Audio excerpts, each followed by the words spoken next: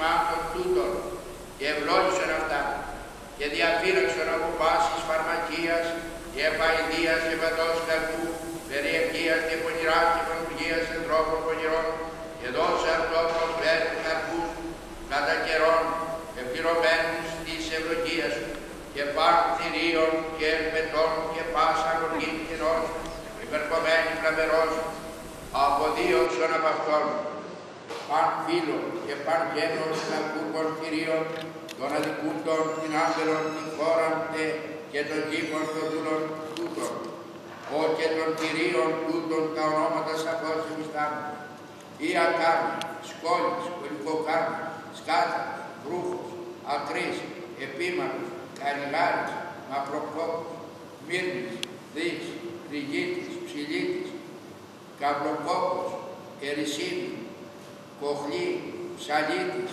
και ήτι άλλων πρωτοσών. Υπάγεται εις τα άγρια όρια, εις τα άκαρπα ξύλα, ή αν και χαρίσω εμείς ο Θεός την καθημερινή τροφή.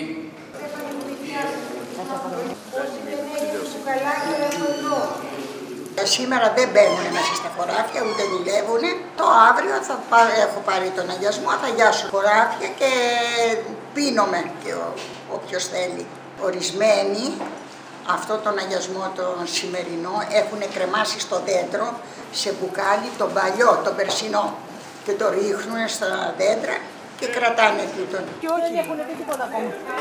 Όχι, δεν είναι. Μυστικά ακόμα. Τα πολύ παλιά χρόνια γινόταν μεγάλο πανηγύρι σαν αυτή την ημέρα. Γινόταν λειτουργία στη Θεοσκέπαστη, είχαν την κάρα του Αγίου Τρίφωνα με λάβαρα και ήταν ο Βάσος ο Γαβριήλ, ο Δημήτρης ο Γαβριήλ πεθερός μου. Γινόταν η λειτουργία και πηγαίνανε όλοι πάνω την αγορά με το λάβαρο του Αγίου Τρίφωνα μέχρι το Δημαρχείο. Είχαν κεράσματα και μετά στο Γαλιάσου το καφενείο και το βράδυ γινόταν χορός εδώ στο κτήμα. Γούναρη ήταν εδώ δίπλα στο Αυλοναρίτη, το σπίτι. Και γινόταν μεγάλο γλέντι και στο Κόρφι. Στο Κόρφι το κρατούσαν πολλά χρόνια.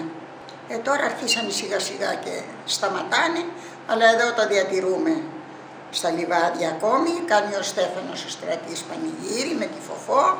Μετά έχουμε κέρασμα στο καφενείο και κάποτε πηγαίναμε και στο Κόρφι στο πανηγύρι. Μια φορά έβρεχε πολύ και ο Νενές ο Γιάννης μας πήγε με το λεωφορείο και πήγαμε πάνω, ξημερωθήκαμε εκεί, γλεντούσανε πάρα πολύ και γυρίζαμε την άλλη μέρα. Να μας πούν, θα κάνεις αυτά και αυτά και τα